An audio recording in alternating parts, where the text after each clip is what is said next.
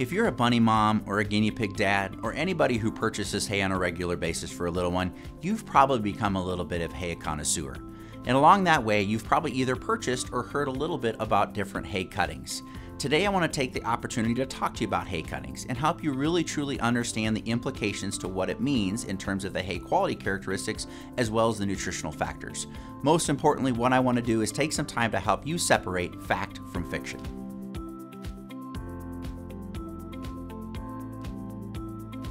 So, what are hay cuttings? In order to understand myths versus reality, let's spend a little bit of time helping you understand the science of how hay grows and how that relates to cuttings. Hay is a crop that can be harvested multiple times a year. And no matter what type of hay we're talking about, whether that be cool season grasses like Timothy and Orchard, warm season grasses like Bermuda, or even legumes like alfalfa, they are naturally harvested at different points during their maturation cycle. When we talk about cuttings, that's simply assigning a number to a cutting. First cutting would be the first time the hay is cut each year, whereas second cutting would be the second cut. It's most commonly to get one to two cuttings, and rarely with some grasses, we will get a third cutting.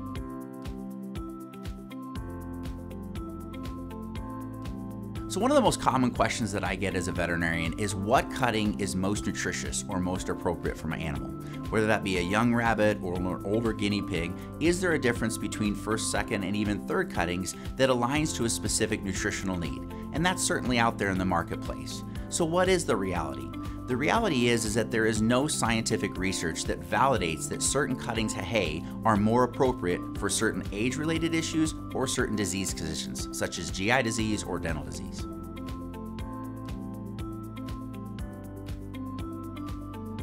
Another claim I occasionally hear from pet parents is that second cutting hay is actually a higher quality than first cutting. Well, the truth around that is that's really a myth. Little bit based on consumer perception, and unfortunately, there is some marketing out there that really aligns that second cutting is better. Now, there can be certainly differences between first and second cutting, and sometimes second cutting can be a little bit softer and greener, but when we really get down to the root of it, what we want to focus on is the maturity of the hay. There are different physical structures that we look for, whether it's leaf to stem ratio, whether it's the side of the seed head, whether it's the maturation. It really is not about the cutting whatsoever. If we evaluate those physical characteristics and most importantly, we align that to the nutritional factors that we are after, cutting really isn't a primary differentiator and not something you should make your purchase decision based on.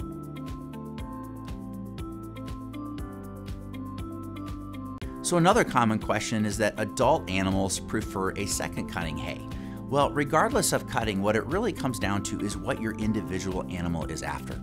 Some animals certainly like a hay that is slightly more coarse, a little bit more mature, a little bit crunchier, whereas other individuals prefer a little bit of softer hay.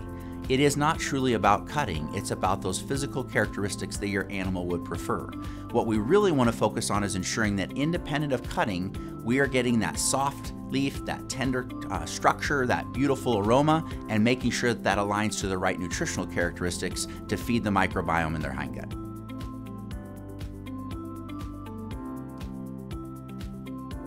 As you can imagine, we've spent a huge amount of time and effort at Oxbow trying to understand what are the nutritional and physical characteristics of hay that most align to a hay, independent of cutting, that is appropriate for small herbivores. What we've learned is that we focus on maturity and specifically harvesting hay at an early maturation state, not letting hay get overly mature. So again, it's not specifically about the cutting, it's about the physical characteristics as well as the nutritional characteristics, and because we focus on an early maturity cut, we can align that in every single bag. So we've spent a lot of time talking about the nutritional characteristics and the physical characteristics that we know align to what's the best for the small herbivore. At Oxbow, what we realized really early on is that once that hay leaves the field, there are still a lot of things that we have control of that can allow us to improve and add value to that hay. What we've done is learn from this experience and we've developed what we call our extra acre hay process. This again starts in the field with the quality evaluations that we do there, but it follows the hay all the way through the packaging and into that final package. It's about not simply buying hay. It's not simply looking at hay in the field, but really understanding what we can control as we move that through our quality system. There's four central pillars to Oxbow's extra acre quality process.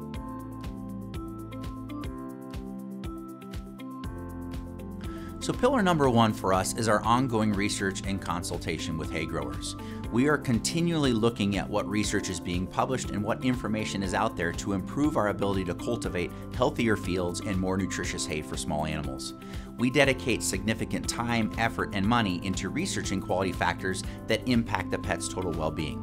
Our forage experts work hand in hand with researchers and growers, continue to learn and evolve the way that we grow and package hay.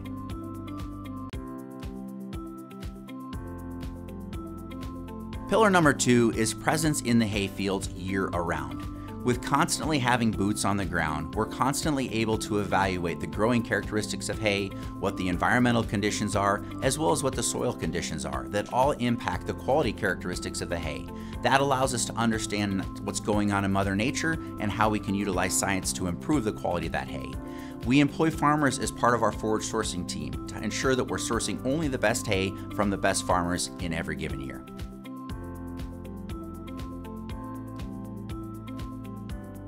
Pillar number three is really focused on our assessment and our scoring of hay. Before we ever buy hay, we understand what's been going on as part of that growing process. Our sourcing team evaluates that hay in the field and in the bale to collect samples, scoring it on a variety of factors color, smell, aroma, different leaf to stem ratios, and other quality characteristics. In addition, we're sampling that hay and submitting it for third party testing to evaluate a massive diversity of nutritional factors, including fiber and protein and other nutritional characteristics that we know are paramount for the health and well being of small animals. After assessing the quality of the hay each year, we evaluate all the hay that is available and only select the most nutritionally appropriate and that hay that has the quality characteristics that we're after. Once back at Oxbow, the hay undergoes another round of sampling to further validate that scoring and assessment that was done in the field, as well as to validate the third party nutritional testing. All that analysis in totality allows us to know that we're putting the most consistent, most nutritionally appropriate hay in the package every single day.